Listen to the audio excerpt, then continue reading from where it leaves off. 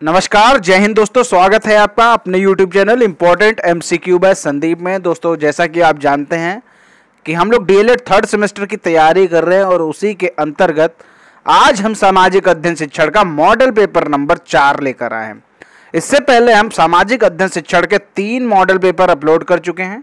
और अगर आपने वो वीडियोज़ नहीं देखे हैं तो नीचे डिस्क्रिप्शन में लिंक मिल जाएगा।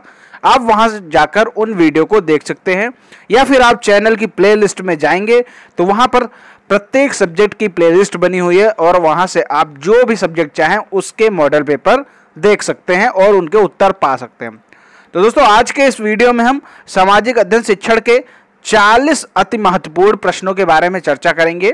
उन सभी प्रश्नों के उत्तर बताएँगे और उनसे संबंधित जो फैक्ट्स हैं, वो भी हम आपको साथ ही साथ बताएँगे। तो चलिए शुरू करते हैं। शुरू करने से पहले एक निवेदन है, अगर आपने चैनल को सब्सक्राइब नहीं किया है तो डीएलएड थर्ड सेमेस्टर के मॉडल पेपर पाने के लिए और पूरा कोर्स पढ़ने के लिए चैनल को ज़रूर सब्सक्राइब कर लीजिए और घंटे का निशान ज़रूर दबा लें, ताकि आने वाले सभी वीडियोज़ का नोटिफिकेशन आपके पास सबसे पहले मिल जाए। तो चलिए शुरू करते हैं आज का वीडियो। शुरू करने से पहले पिछले मॉडल पेपर के विशेष प्रश्न का उत्तर हम बताना चाहेंगे।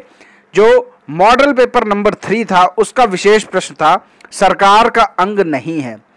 चूँकि आप जानते हैं कि प्रत्येक मॉडल पेपर में मैं एक विशेष प्रश्न ज़रूर पूछता हूँ आपसे। इस मॉडल पेपर में भी मैंने एक प्रश्न पूछा है जो कि लास्ट में है। तो शुरू करते हैं।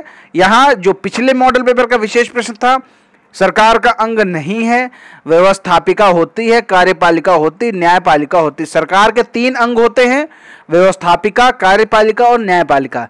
लेकिन जो राज्यपालिका, ये सरकार का अंग नहीं है। उम्मीद करता हूँ इसका उत्तर आपको अच्छे से मिल गया है। तो चुंबकत्व का गुण किसमें होता है? मैग्नेटाइट में। ठीक है? मैग्नेटाइट में होता है चुंबकत्व का गुण। अब बात करें, इसमें लोहा का अंश कितना होता है? बहत्तर फ़ीसदी इसमें लोहा का अंश होता है।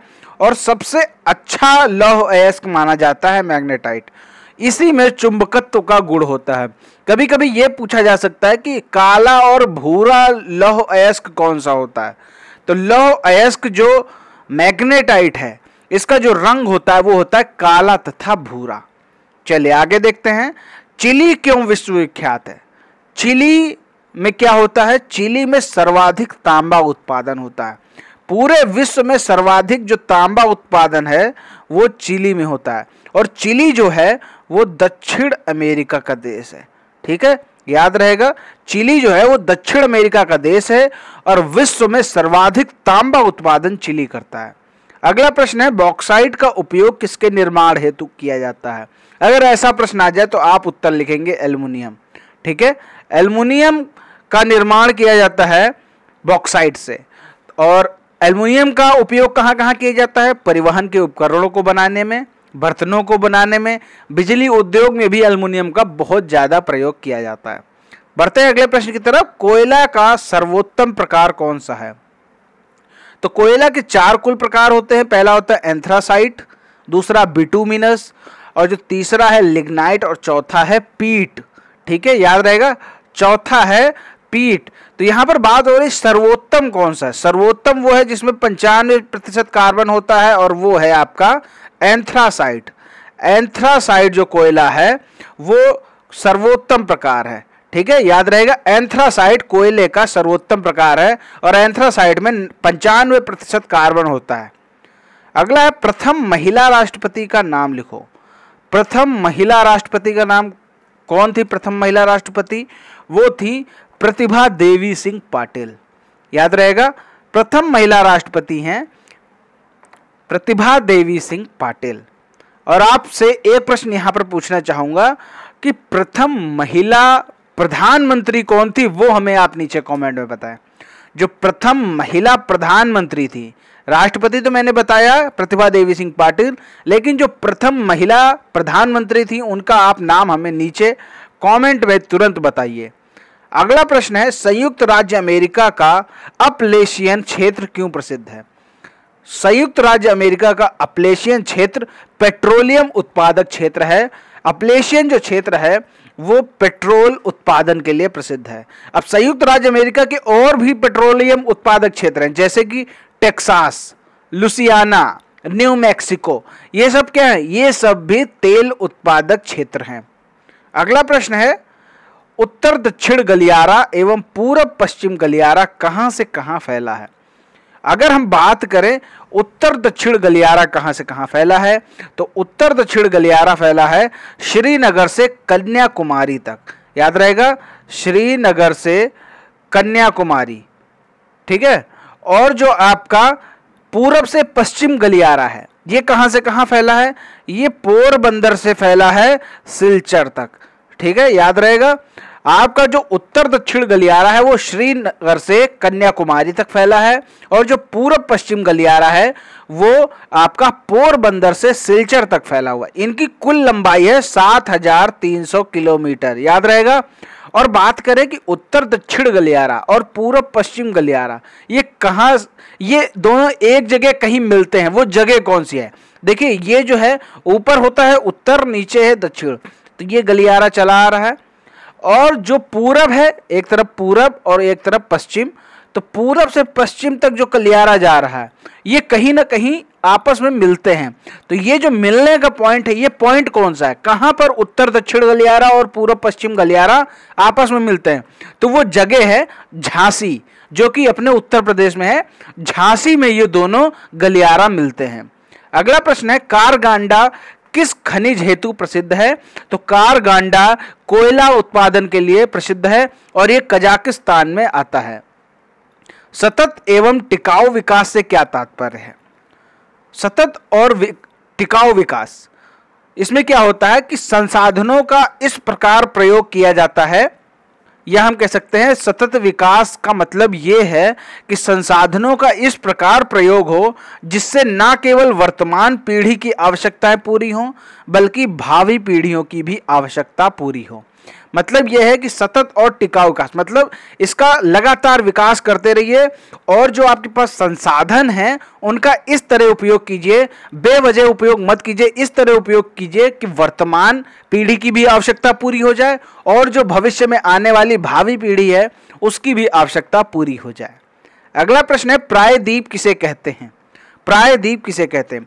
स्थल का वह भाग जो तीन ओर समुद्र से घिरा होता है, उसे प्रायद्वीप कहते हैं। जैसे अगर हम भारत की स्थिति ले, ये नीचे की स्थिति है तो आप देखेंगे इधर भी जल है, नीचे भी जल है और इस तरफ़ भी जल है। तो भारत के तीन ओर जल है। तो जहाँ पर तीन ओर जल होता है, स्थल का वह भाग जिधर, जहाँ तीन ओर जल होता है, वह स्थान प्रायद्वीप कहलाता है। तो भारत जो हमारा है, वो प्रायद्वीप है। अगला प्रश्न है, भारत के स्थलीय सीमा से लगे पड़ोसी देशों के नाम लिखो। तो यहाँ पर स्थलीय सीमा की बात हो रही है। स्थलीय सीमा से कौन कौन से देश लगे हुए हैं? म्यांमार, भूटान, बांग्लादेश, चीन, पाकिस्तान, नेपाल, अफ़गानिस्तान। एक बार फिर से बताएँगे, आप चाहे तो नोट कर सकते हैं। म्यांमार, बांग्लादेश, भूटान, चीन, पाकिस्तान, नेपाल और अफ़गानिस्तान। अगला प्रश्न है, भारत के साथ सर्वाधिक लंबी सीमा कौन सा देश बनाता है? तो वो है बांग्लादेश। बांग्लादेश सबसे लंबी सीमा बनाता है भारत के साथ। और अगर बात करें कि सबसे कम सीमा कौन, ऐसा कौन सा देश है जिसकी सबसे कम सीमा भारत को छूती है? तो वो देश है अफ़गानिस्तान। सबसे लंबी सीमा है बांग्लादेश की भारत के साथ और सबसे कम सीमा है भारत के साथ अफ़गानिस्तान की। अगला प्रश्न हिंद महासागर में भारत के कौन से द्वीप स्थित हैं? तो हिंद महासागर में भारत के दो द्वीप स्थित हैं। कौन कौन सा है? एक तो है लक्षद्वीप ठीक है? और दूसरा है अंडमान व निकोबार द्वीप समूह, ठीक है? याद रहेगा, दो द्वीप हैं लक्षद्वीप और अंडमान व निकोबार द्वीप समूह। अगला प्रश्न है वन्य जीव किसे कहते हैं? वन्य जीव वे जानवर जो जंगल में पाए जाते हैं, जिन्हें हम पालते नहीं हैं। वह कहलाते हैं वन्य जीव जैसे बाघ, शेर, हाथी, तेंदुआ, ठीक है? ये सब वन्य जीव हैं। अगला प्रश्न है, सुंदरवन का क्षेत्र किस राज्य में आता है या किस राज्य में पाया जाता है?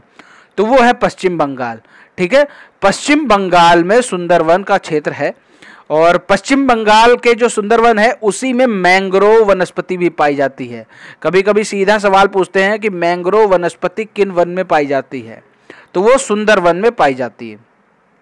चांदी का सर्वाधिक उत्पादन भारत में कहाँ होता है? तो वो होता है उदयपुर में, ठीक है? उदयपुर राजस्थान में चांदी का सर्वाधिक उत्पादन होता है। अगला है, भारत में किस बालू से थोरियम प्राप्त किया जाता है? तो भारत में केरल में एक बालू है, जिससे थोरियम प्राप्त किया जाता है। वो बालू का नाम है मोनाजाइट। मोनाजाइट। ये केरल के तटों पर पाई जाती है बालू। भारत में केरल के तटों पर पाई जाती है मोनाजाइट बालू। इससे थोरियम प्राप्त किया जाता है और थोरियम जो होता है, वो अड़ु शक्ति बनाने में उपयोग किया जाता है। अगला प्रश्न है, वर्तमान में सिंचाई की कौन सी नवीन पद्धतियों का उपयोग किया जा रहा है? तो एक नवीन पद्धति है ड्रिप, जिसे हम टपक पद्धति भी कहते हैं, और दूसरी है स्प्रिंकल। स्प्रिंकलर ये मैं पहले भी इसका उत्तर बता चुका हूँ, लेकिन यहाँ पर आज दोबारा रिपीट कर रहा हूँ। वर्तमान में सिंचाई की दो नवीनतम पद्धतियों का उपयोग किया जा रहा है ड्रिप यानी टपक पद्धति, और दूसरी है स्प्रिंकलर यानी छिड़काव पद्धति। इसमें होता क्या है? इसमें जो है, इसमें कम से कम पानी का उपयोग होता है और ज़्यादा से ज़्यादा फ़सल पैदा होती है। अगला है, जनता का दर्पण किसे कहते हैं? जनता का दर्पण कहते हैं सरकार का एक अंग है, व्यवस्थापिका। व्यवस्थापिका, इसे जनता का दर्पण कहा जाता है और व्यवस्थापिका सरकार का एक अंग होता है। अभी मैंने स्टार्टिंग में बताया, सरकार के तीन अंग होते हैं, व्यवस्थापिका, कार्यपालिका और न्यायपालिका, जिसमें जो व्यवस्थापिका है, इसे जनता का दर्पण कहते हैं। विदेशी विनिमय किस सूची के अंतर्गत आता है? तीन तरह की सूचियाँ होती हैं, संघ सूची और संवर्ती सूची और राज्य सूची। तो जो संघ सूची है उसके अंतर्गत आता है विदेशी विनिमय। विदेशों से संबंधित जो भी कार्य होंगे, वो संघ सूची के अंतर्गत ही आएँगे। संघ सूची के अंतर्गत कुल सौ विषय हैं। शक्तियों का बंटवारा किस शासन प्रणाली की विशेषता है? तो शक्तियों का बंटवारा, ठीक है, आप जानते हैं, भारत में दो स्तर पर शासन चलता है। एक तो हो गया केंद्र स्तर पर, दूसरा है राज्य स्तर पर। तो जब शक्तियों का बंटवारा होगा, कुछ शक्तियाँ केंद्र के पास होंगी, कुछ शक्तियाँ राज्य के पास होंगी, तभी अच्छे से शासन चल सकता है। तो यहाँ पर जो भारत का शासन प्रणाली है, वो है संघात्मक। संघात्मक शासन प्रणाली। तो यहाँ पर संघ, शक्तियों का बंटवारा किस शासन प्रणाली की विशेषता है? तो वो संघात्मक शासन प्रणाली की विशेषता है। अगर ऐसा होता कि पता चला, स्तर तो आपके पास दो हैं, केंद्र और राज्य, लेकिन सारी शक्तियाँ केवल एक के पास ही होती हैं। मान लीजिए ऐसी कंडीशन होती कि सारी शक्तियाँ केवल एक के पास होती, या तो केंद्र के पास होती, या तो राज्य के पास होती। तो ऐसी शासन प्रणाली को हम क्या कहते हैं? उसे हम कहते एकात्मक शासन प्रणाली। कई देश ऐसे हैं जो एकात्मक शासन प्रणाली पर काम करते हैं, लेकिन जो अपना भारत है, वो संघात्मक शासन प्रणाली पर कार्य करता है। अगला है, लोकसभा में कितने सदस्य राष्ट्रपति द्वारा निर्वाचित किए जाते हैं? तो दो सदस्य राष्ट्रपति द्वारा निर्वाचित किए जाते हैं। जो लोकसभा है, उसमें कुल सदस्य हो सकते हैं पाँच जिसमें से 530 तो राज्यों से आते हैं और 20 आते हैं केंद्र शासित प्रदेश से। और जो दो होते हैं, वो राष्ट्रपति निर्वाचित करता है, मनोनयन करता है, एक तरह कह सकते हैं। वो कौन से होते हैं दो? दो एंग्लो इंडियन समुदाय से होते हैं। दो जो राष्ट्रपति मनोनयित करता है, जो दो सदस्य होते हैं लोकसभा में वो होते हैं एंग्लो इंडियन समुदाय से। अगला प्रश्न है, किस संविधान संशोधन के अंतर्गत मतदान करने की आयु 21 से घटाकर 18 वर्ष कर दी गई है? तो वो संविधान संशोधन था इकसठवां। इकसठवां संविधान संशोधन जो उन्नीस सौ नवासी में हुआ। इसके अंतर्गत मतदान करने की आयु 21 थी पहले और इकसठवें संविधान संशोधन से इसकी आयु 18 कर दी गई। अगला प्रश्न है, लोकसभा के कितने सत्र होते हैं? तो तीन सत्र होते हैं। पहला सत्र होता है आपका बजट सत्र, ठीक है? बजट सत्र कब चलता है? फरवरी से मई तक। दूसरा सत्र होता है वर्षाकालीन सत्र, ठीक है? वर्षाकालीन सत्र कब से कब तक चलता है? जुलाई से सितंबर तक। और तीसरा होता है शीतकालीन सत्र। शीतकालीन सत्र चलता है नवंबर, दिसंबर, ठीक है? तो ये तीन सत्र होते हैं, सामान्यतः तीन सत्र माने गए हैं बजट सत्र, वर्षाकालीन सत्र, शीतकालीन सत्र। अगला है, संसद का सर्वोच्च अंग कौन सा है? तो संसद का सर्वोच्च अंग है लोकसभा। याद रहेगा, संसद का सर्वोच्च अंग लोकसभा है। अगला प्रश्न है, उत्तर प्रदेश में लोकसभा, राज्यसभा और विधान परिषद की कितनी सीटें हैं? तो उत्तर प्रदेश में लोकसभा की 80 सीटें हैं, राज्यसभा की 31 सीटें हैं और विधान परिषद की 100 सीटें हैं। याद रहेगा अगला है, किस अनुच्छेद के अंतर्गत राष्ट्रपति वित्तीय आपातकाल लगाता है? तो वित्तीय आपातकाल लग रहा है तो वो है 360 अनुच्छेद 360 के अंतर्गत राष्ट्रपति वित्तीय आपातकाल लगाता है। अगला प्रश्न है, साधारण और विशेष बहुमत का क्या अर्थ है? तो ये आपको समझना ज़रूरी है। देखिए, कोई विधेयक ऐसा होता है, जो कुछ होते हैं विधेयक जो साधारण बहुमत से पास हो जाते हैं, और कुछ विधेयक ऐसे होते हैं जिन्हें विशेष बहुमत की आवश्यकता होती है। तो यहाँ पर साधारण और विशेष बहुमत का अर्थ क्या है? जो विधेयक साधारण बहुमत से पास होता है, ठीक है? जो भी विधेयक साधारण बहुमत से पास हो जाता है, उसमें आधे से अधिक समर्थकों की ज़रूरत होती है। जैसे आपके पास मान चलिए कि कुल इस समय सदस्य हैं 530 ठीक है?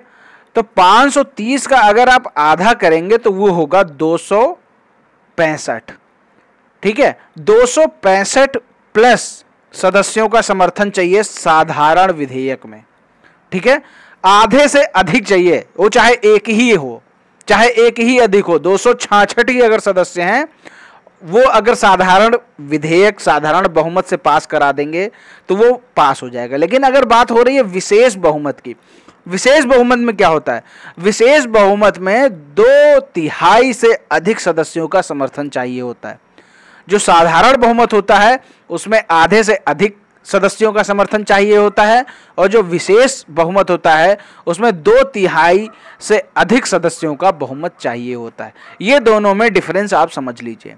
अगला प्रश्न है, किस अनुच्छेद के अंतर्गत प्रधानमंत्री की नियुक्ति की जाती है? अब प्रधानमंत्री की नियुक्ति कौन करता है? राष्ट्रपति करता है। लेकिन किस अनुच्छेद के अंतर्गत की जाती है? अनुच्छेद पचहत्तर के अंतर्गत। लोकसभा में बहुमत प्राप्त दल का जो नेता होता है, उसे राष्ट्रपति, प्रधानमंत्री नियुक्त करता है। और वो अनुच्छेद है, अनुच्छेद पचहत्तर। अगला है, प्रधानमंत्री के कार्य लिखो। प्रधानमंत्री के कार्य कौन कौन से हैं? देखिए, प्रधानमंत्री बनने के बाद जो सबसे पहला कार्य होता है प्रधानमंत्री का, मंत्रिपरिषद का निर्माण करना। दूसरा कार्य है मंत्री परिषद की बैठकों एवं कार्यवाही का संचालन। तीसरा जो है, प्रधानमंत्री देश का सर्वोच्च नेता व शासक होता है, इसीलिए शासकीय कार्यों में भी उसको काम करना पड़ता है। चौथा कार्य है, अंतर्राष्ट्रीय सम्मेलनों में भाग लेना पड़ता है प्रधानमंत्री को। पांचवा है कि राष्ट्रपति को उच्च अधिकारियों की नियुक्ति हेतु परामर्श देना पड़ता है प्रधानमंत्री को। तो इतने कार्य पर्याप्त हैं आपको दो नंबर पाने के लिए। अगला है, अविश्वास प्रस्ताव क्या है? अविश्वास प्रस्ताव क्या है? तो दोस्तों, इसकी परिभाषा थोड़ा ध्यान से सुनिएगा। यदि संसद मंत्री परिषद के कार्य करने के ढंग से संतुष्ट ना हो, यदि संसद मंत्री परिषद के कार्य करने के ढंग से संतुष्ट ना हो तो लोकसभा के द्वारा अविश्वास का प्रस्ताव पास कर मंत्री परिषद को उनके पद से हटाया जा सकता है। ठीक है? अविश्वास प्रस्ताव एक तरीके से मंत्री पद को उनके पद से हटाने की प्रक्रिया है।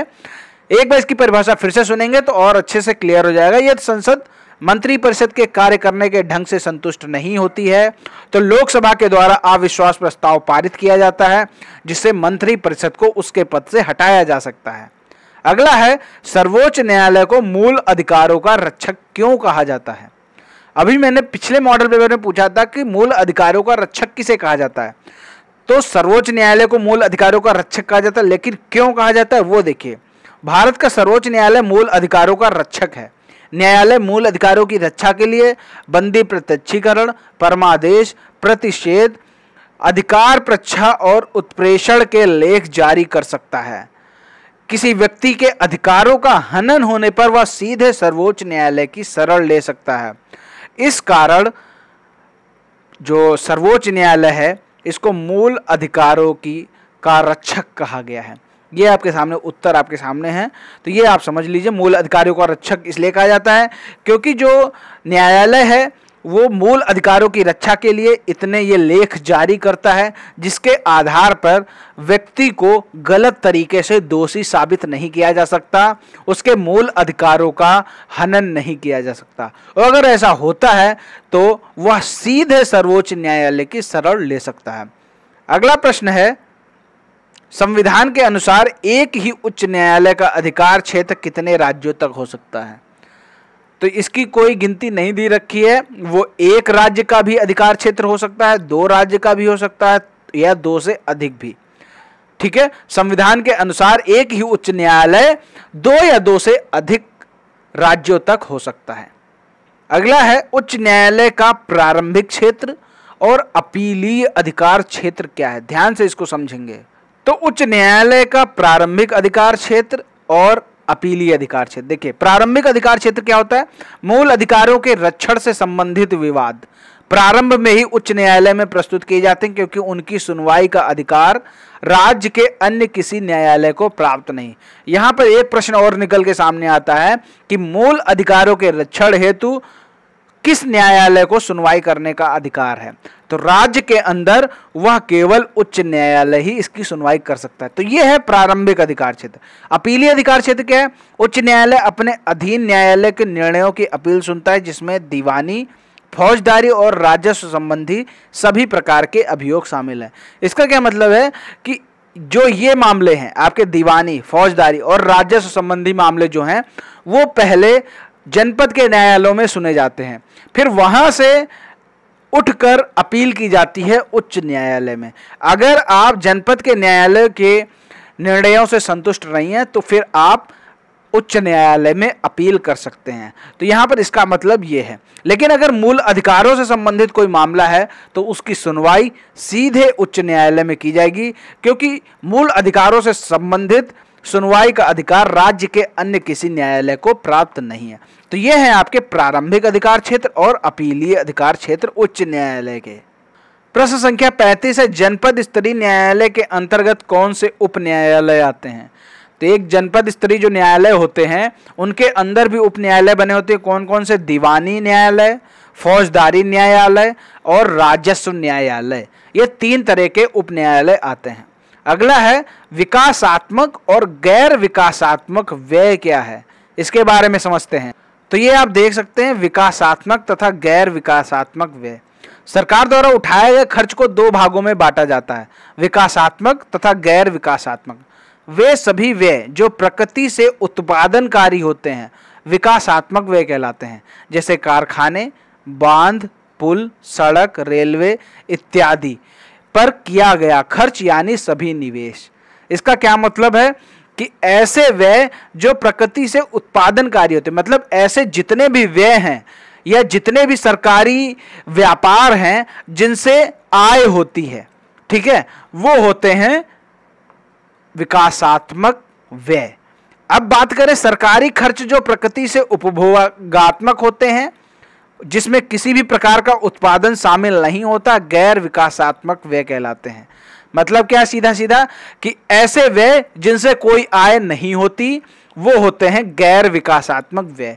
जैसे वेतन, पेंशन, ब्याज अदायगी, छूट, रक्षा, ये ये कैसे हैं? इनमें कोई भी आय सरकार को नहीं होती और उसमें खर्चा किया जाता है। जैसे वेतन देना तो सरकार देती है पेंशन होती, सरकार वेतन, पेंशन देती, ब्याज अदायगी, रक्षा, इन सब पर क्या करती? सरकार खुद खर्चा करती है। तो ये सब कैसे हैं? ये गैर विकासात्मक व्यय हैं। और जिनसे आय होती है, जैसे कारखानों से आय होती है सरकार को, बाँध, पुल, सड़क, रेलवे, इन सबसे क्या होती है? सरकार को आय होती है। ये सब कैसे हैं? ये सब उत्पादनकारी हैं। तो ये कहलाते हैं विकासात्मक व्यय। और जिनसे कोई भी उत्पादन नहीं होता, उनसे कोई भी आय नहीं होती, वो सब कहलाते हैं गैर विकासात्मक व्यय। इस वर्गीकरण को अब भारतीय लोक वित्त प्रबंधन में नहीं उपयोग किया जाता। ये भी साफ़ साफ़ यहाँ पर दिया हुआ है। इस वर्गीकरण को अब भारतीय लोक वित्त प्रबंधन में उपयोग नहीं किया जाता। बढ़ते हैं अगले प्रश्न की तरफ़। प्रश्न संख्या सैंतीस है। भारत सरकार द्वारा लिए जाने वाले प्रत्यक्ष और अप्रत्यक्ष करों के नाम लिखो। कर मतलब टैक्स। तो ऐसे कौन से हैं टैक्स जो सीधे जनता से लिए जाते हैं और ऐसे कौन से टैक्स हैं जो सीधे जनता से ना लेकर किसी अन्य माध्यम से जनता से लिए जाते हैं? लिए जनता से ही जाते हैं टैक्स, लेकिन कुछ ऐसे होते हैं जो सीधा ले लिए जाते हैं, जैसे इनकम टैक्स। सीधा व्यक्ति जमा करता है सरकार के खाते में, लेकिन कुछ टैक्स ऐसे होते हैं जो अप्रत्यक्ष रूप से सरकार लेती है जनता से।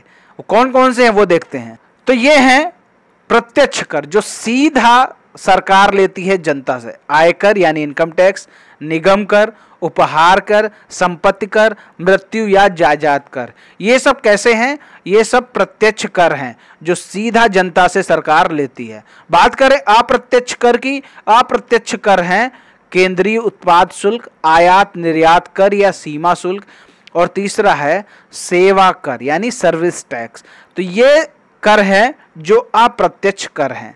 ठीक है? तो उम्मीद करता हूँ प्रत्यक्ष कर और अप्रत्यक्ष कर दोनों में डिफरेंस आप समझ गए और दोनों कौन कौन से हैं वो भी आप समझ गए। अगला प्रश्न है, नीति आयोग का गठन कब किया गया और इसके अध्यक्ष कौन है? तो नीति आयोग से पहले एक आयोग होता था जो कि 1950 में इसका गठन किया गया था, वो था योजना आयोग। योजना आयोग था जो कि 1950 में इसका गठन किया गया था। लेकिन 2014 में जब मोदी सरकार आई तो मोदी सरकार ने योजना आयोग का नाम बदलकर नीति आयोग कर दिया और उसमें कुछ चेंजेस भी कर दिए। एक जनवरी 2015 को नीति आयोग का गठन किया गया था, जिसके अध्यक्ष प्रधानमंत्री जी होते हैं। और बात करें कि नीति आयोग का जो गठन है, वो कौन सी पंचवर्षीय योजना में हुआ? तो नीति आयोग का गठन बारहवीं पंचवर्षीय योजना में किया गया और बारहवीं पंचवर्षीय योजना का जो अवधि था, वो था 2012 से 2017 तक। क्योंकि पंचवर्षीय योजना पाँच वर्षों की होती है। ठीक है? तो ये आप समझ गए कि नीति आयोग का गठन कब किया गया?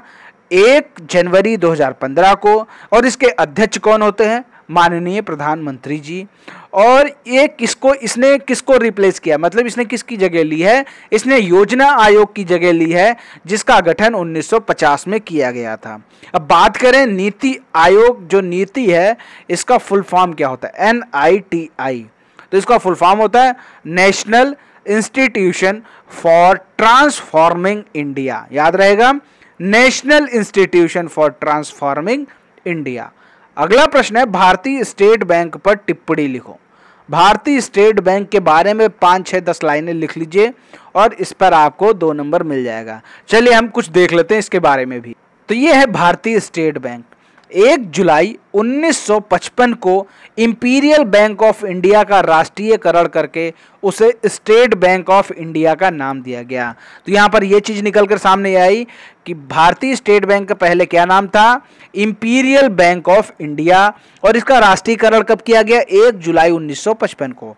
भारतीय अर्थव्यवस्था के कृषि प्रधान होने के बावजूद इंपीरियल बैंक ने कृषि क्षेत्र संबंधी साख आवश्यकताओं की ओर कोई ध्यान नहीं दिया। वास्तव में इंपीरियल बैंक के राष्ट्रीयकरण का एक प्रमुख कारण था।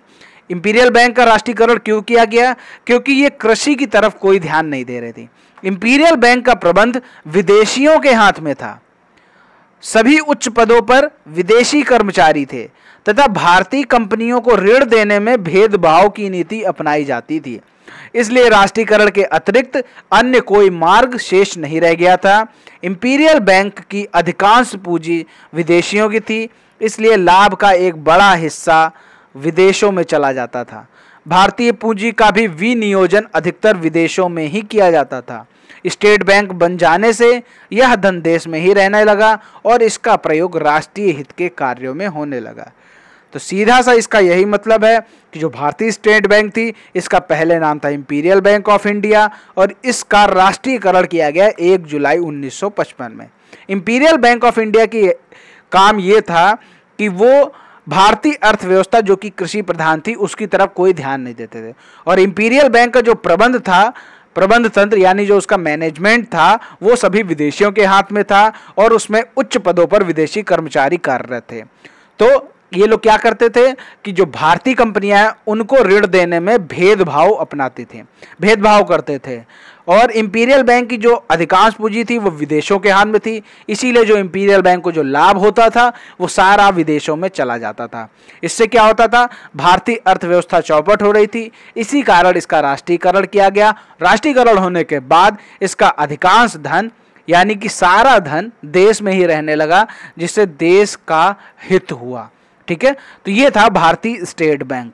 तो दोस्तों, उम्मीद करता हूँ कि ये प्रश्न आपको बहुत ही अच्छे लगे होंगे और जितने भी प्रश्न हैं, सारे मोस्ट इंपॉर्टेंट हैं, सब आप अच्छे से समझ लीजिए, सब आप अच्छे से याद कर लीजिए। अब बात करते हैं आपके लिए जो मैंने यहाँ पर प्रश्न लिया है। आज के प्रश्न में ऑप्शन नहीं है, विकल्प नहीं है, आपको सीधा उत्तर लिखना है। वर्तमान राज्य सभापति का नाम लिखना है। तो नीचे कमेंट में इसका उत्तर बताएँ कि वर्तमान में राज्य सभापति कौन है? हर हाल में आपको उत्तर देना है, नीचे कमेंट में उत्तर ज़रूर बताइए। और एक मैंने प्रश्न ऊपर भी पूछा था कि प्रथम महिला प्रधानमंत्री कौन है, वो भी अगर आपको आता है तो नीचे कमेंट में हमें ज़रूर बताएँ। वीडियो से संबंधित कोई समस्या है सुझाव है तो वो भी आप हमें कमेंट में बता सकते हैं। और डीएलएड थर्ड सेमेस्टर से संबंधित या किसी भी डीएलएड सेमेस्टर संबंधित कोई समस्या है तो आप हमें नीचे कमेंट बताएँ। हम उसका समाधान करेंगे। उम्मीद करता हूँ ये वीडियो पसंद आया होगा। वीडियो पसंद आया तो वीडियो को लाइक करें, शेयर करें। चैनल को सब्सक्राइब नहीं किया तो चैनल को सब्सक्राइब करके घंटे का निशान ज़रूर दबा दें। मिलते हैं अगले वीडियो में, तब तक के लिए जय हिंद, जय भारत।